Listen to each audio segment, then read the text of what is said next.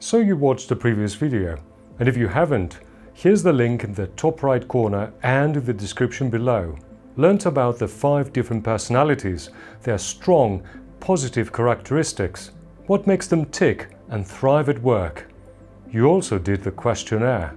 So you're here to find out more about your shadow side, or the one of your colleagues.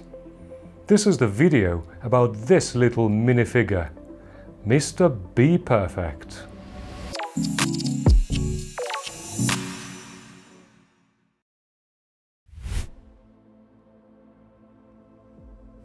His problem-solving skills are next to none, but it takes unpredictably long. Excessive checking takes time. Outlining all these scenarios takes time. Also, his do-it-once, do-it-right attitude means that nobody gets a draft version. Ever. So there's very little room for others to comment or contribute ideas, not particularly collaborative. He expects others to share and adhere to the same perfect values, but he always gets disappointed. Hence Mr. Be Perfect finds it rather hard to delegate, hard to trust, and hard to play with the other kids in their less than perfect sandbox. During times of change, Mr. Be Perfect struggles the most. He expected his bulletproof mitigation plans to cover every eventuality. Besides, look at these amazing slides, a huge Gantt chart in fact, predicting every microstep of the way. However, he gets really unsettled when the safety of his plan-driven approach vanishes due to the inherent unpredictability and messiness of change. While exploring different avenues, of course he favours the Rolls-Royce option, discarding any ideas coming from others as substandard. If you are like Mr. Be Perfect, take a deep breath, relax, and accept that human beings, including us, are by design imperfect. Also accept Embrace even the uncertain side of change. No plan can fill the void. No plan can mitigate the fact that people are unpredictable. Taking calculated risks, calculated enough, and learning from the process is an important step.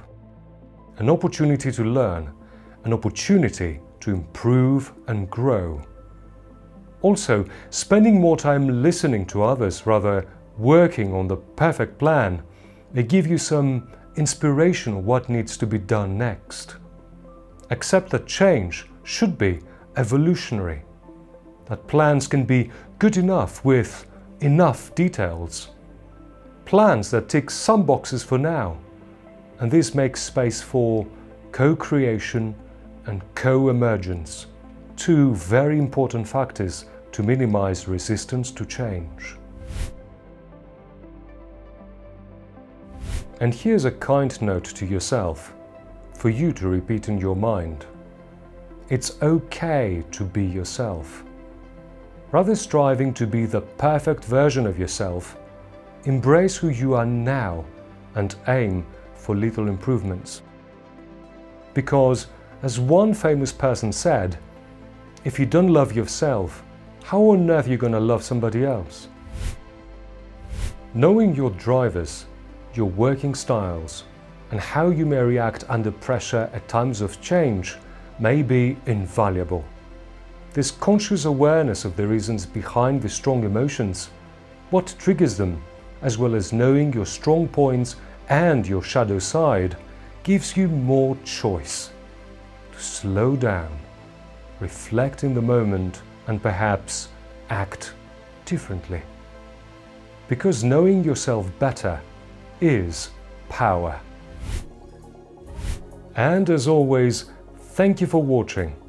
If you find this video useful, hit the like button below, share it with your friends and colleagues and subscribe for more. That'd be lovely. Till the next one, I'm Lazaro Wolf. Take care.